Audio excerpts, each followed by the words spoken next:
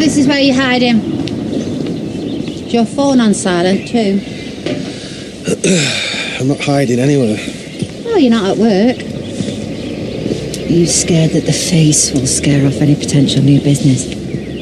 What face? The same one you had as a kid when Santa didn't bring you what you wanted. So go on then, what's Robert said? It's more what you didn't say. Well, I'm fine, so. Aaron, you want to be a father. I understand that. I get it. Mum, I No, I really get it. But you know what? Instead of thinking about what you haven't got, then maybe you should start thinking about what you do. It's what I had to do with me and Paddy. I don't want to be a dad anymore anyway, so. Yes, you do. Sweetheart, I, I remember not so long ago when you came out, the world literally ended. Yeah, look at me now. You're married, You've got your own home, your own business. You've got Seb and Liv. You'll always have me, whether you like it or not. Hmm.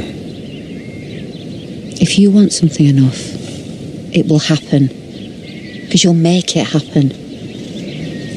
Even when you least expect it. And it'll make it even more precious when it does. So get a grip.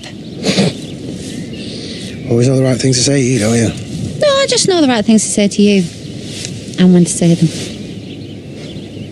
Look. I've been thinking what I can say to you. And all I've come up with is. I'm sorry. Nothing else. Well, I'm sorry too. But I promise I, I will find the money for the surrogacy. It's just gonna take a bit of time. That's all. It's fine. It doesn't matter now. No, of course it matters. I want this too. You know that, don't you? I know. For now, let's just go back to being us for a bit, yeah? Does sounds good to me.